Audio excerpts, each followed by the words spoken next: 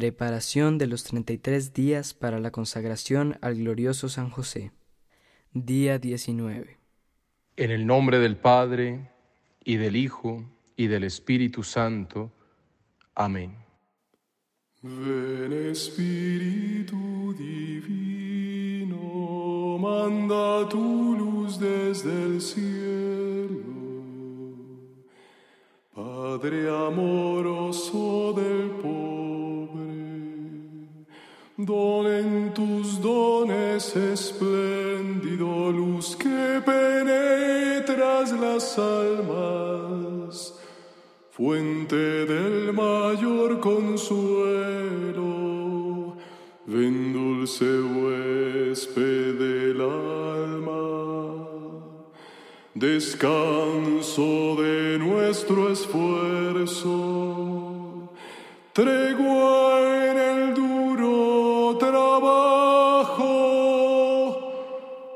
en las horas de fuego, gozo que enjuga las lágrimas y reconforta en los duelos. Entra hasta el fondo del alma, divina luz, y enriquece,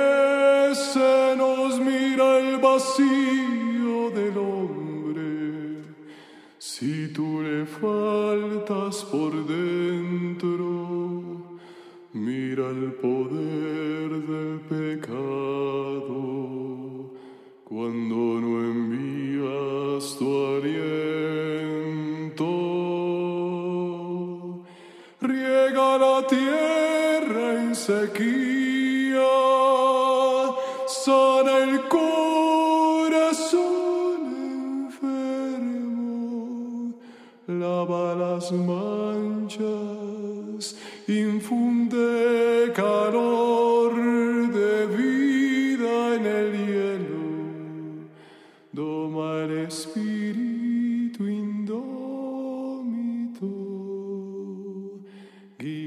que tuerce el sendero,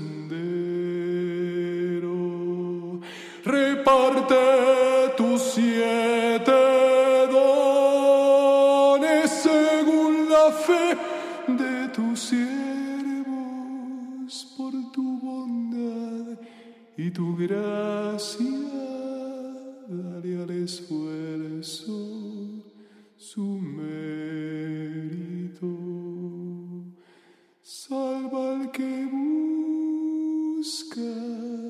salvarse y danos tu gozo eterno.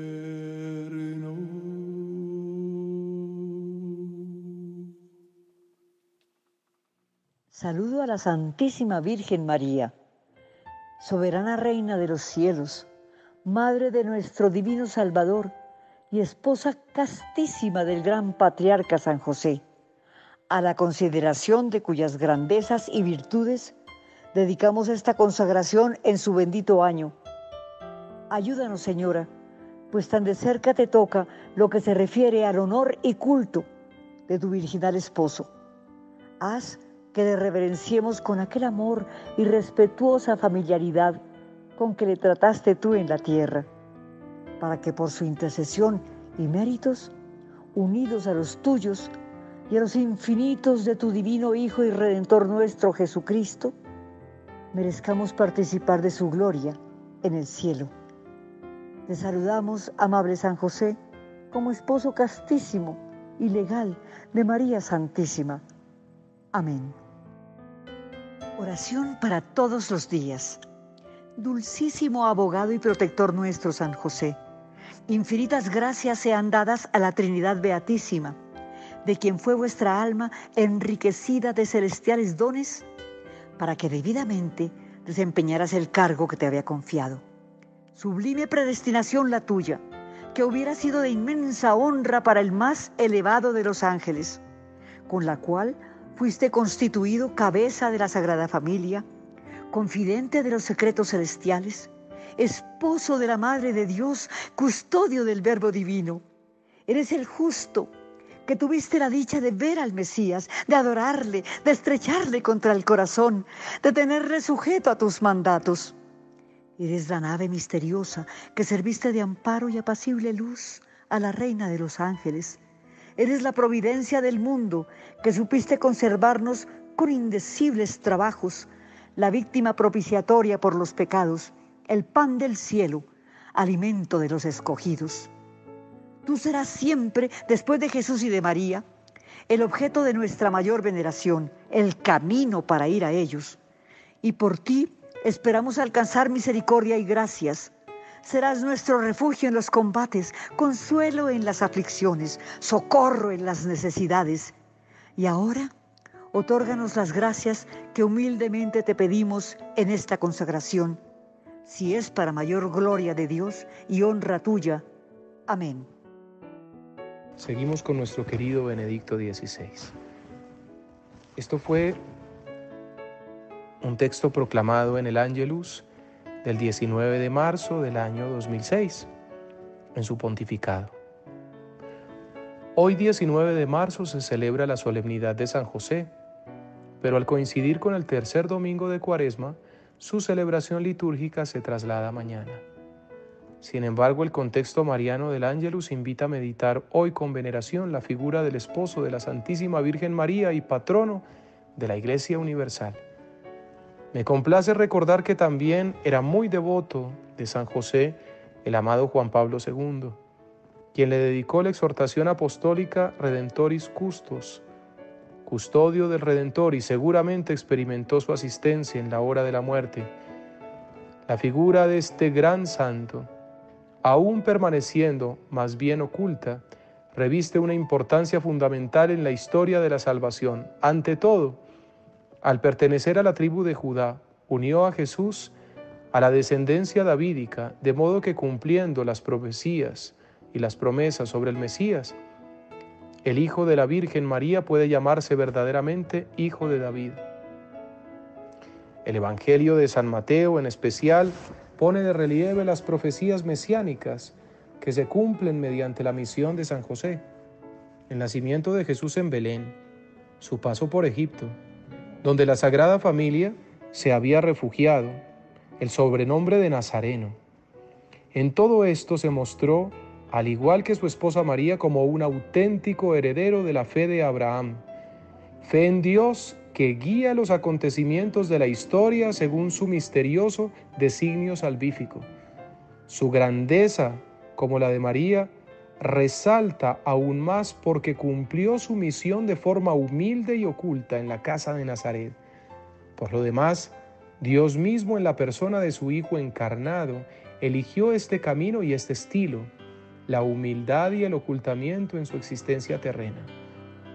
El ejemplo de San José es una fuerte invitación para que todos nosotros realicemos con fidelidad, sencillez y modestia la tarea que la providencia nos ha asignado. Pienso ante todo en los padres y en las madres de familia y ruego para que aprecien siempre la belleza de una vida sencilla y laboriosa, cultivando con solicitud la relación conyugal y cumpliendo con entusiasmo la grande y difícil misión educativa. Que San José obtenga a los sacerdotes que ejercen la paternidad con respecto a las comunidades eclesiales, amar a la iglesia con afecto y entrega plena. Y sostenga a las personas consagradas en su observancia gozosa y fiel de los consejos evangélicos de pobreza, castidad y obediencia. Que proteja a los trabajadores de todo el mundo, para que contribuyan con sus diferentes profesiones al progreso de toda la humanidad y ayude a todos los cristianos a hacer con confianza y amor la voluntad de Dios, colaborando así al cumplimiento de la obra de salvación. Señor, ten piedad. Señor, ten piedad. Cristo ten piedad, Cristo ten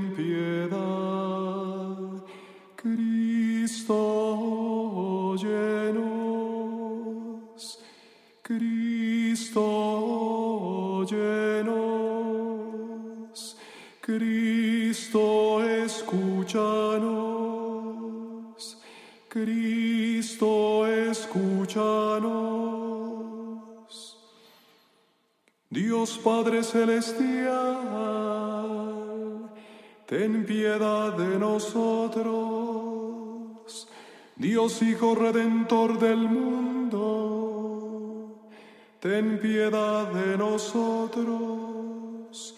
Dios Espíritu Santo, ten piedad de nosotros. Santísima Trinidad, que eres un solo Dios, ten piedad de nosotros. Santa María, ruega por nosotros, ilustre descendiente de David ruega por nosotros, de los patriarcas, ruega por nosotros, esposo de la Madre de Dios, ruega por nosotros, custodio purísimo de la Virgen, ruega por nosotros nutricio del Hijo de Dios,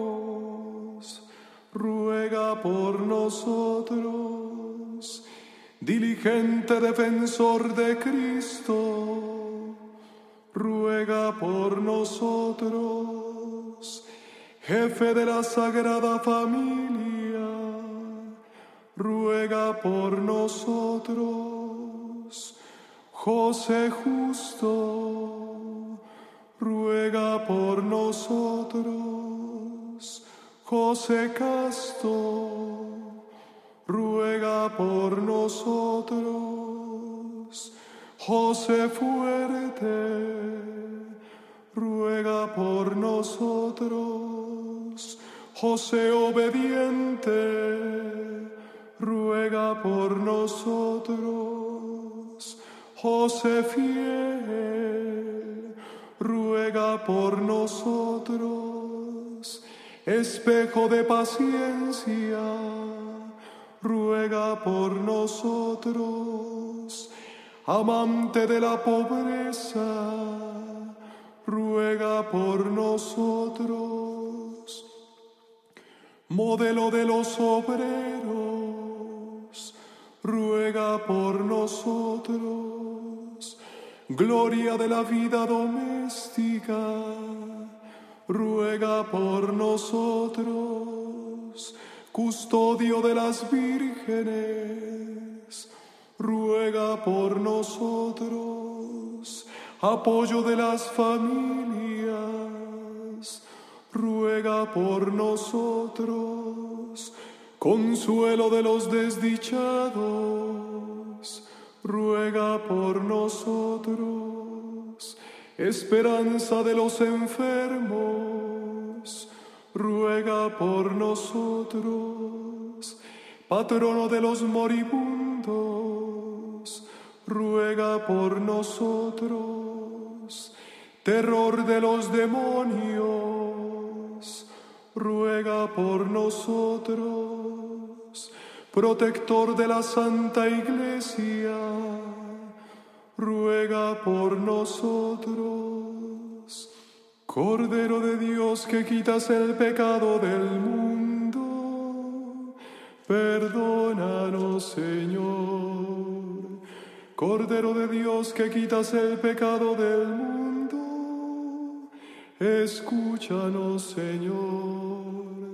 Cordero de Dios que quitas el pecado del mundo, ten piedad de nosotros. Lo nombró administrador de su casa y Señor de todas sus posesiones. Oremos, oh Dios, que en tu sabia providencia elegiste a San José como esposo de María, la madre de tu Hijo. concédenos tener como intercesor en el cielo, a quien veneramos como protector en la tierra. Por Jesucristo nuestro Señor.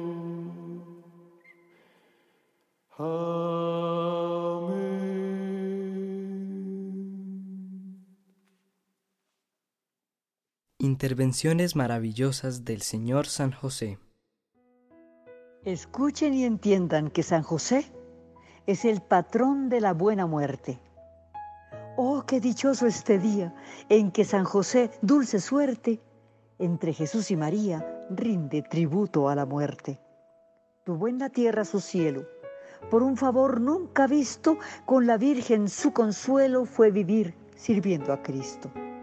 Quiera Dios que en nuestro trance no nos falte su favor y piadoso nos alcance ver benigno al Redentor.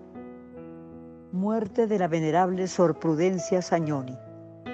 De la venerable Sor Prudencia Sañoni, una de las heroínas más eminentes en virtud del Orden de San Francisco, se dice que después de haber venerado durante toda su vida a San José, recibió en su muerte la gracia más singular que jamás hubiese podido desear, pues que en ella, según cuentan sus biógrafos en el libro Vida, se le apareció el santo y se le acercó a la cama llevando en sus brazos al niño Jesús. Es imposible referir la abundancia de afectos que inundaron el corazón de Sor Prudencia. Baste decir que llegó a difundirse en el corazón de aquellas religiosas compañeras que la asistían al oírla hablar, ya con el glorioso santo, ya con el dulce niñito, con aquel dándole gracias porque se había dignado visitarla y hacerla disfrutar anticipadamente de la gloria del paraíso.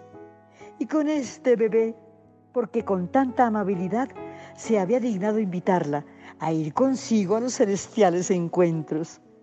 En la actividad de las manos y del rostro, se conocía que San José había puesto en los brazos de su devota al adorable niño, concediéndole aquella muerte feliz que tuvo él en los brazos de Jesús y de su excelsa esposa, la Santísima Virgen María, en su casita de Nazaret. Amén. Oración final. Tú, San José, patrono de las familias, protector de la Iglesia Católica, defensor de la juventud y la niñez, y fiel guardián de los hogares, ayúdanos a recibir las gracias de nuestro Señor Jesucristo y alcanzar así las virtudes gloriosas de tu corazón en la castidad, en la prudencia, en la justicia y en la humildad. Amén. Acuérdate, oh purísimo esposo de María Virgen y dulce protector nuestro, Señor San José, que jamás nadie oyó haber invocado tu protección o pedido tu ayuda y no quedar consolado. Animados de esta confianza, venimos a tu presencia y nos encomendamos a ti. No dejes de escuchar nuestras súplicas, oh Padre nutricio del Redentor, y admítelas piadosamente. Amén. Amorosa despedida. En las tinieblas es luz, en las luchas es victoria y es senda para la gloria el corazón de Jesús. Fuente de paz y alegría sea para nuestros duelos la que brota ya en los cielos del corazón de María. Tu gran auxilio nos des, tú que liberas las almas y tu ternura nos cubra, oh glorioso San José.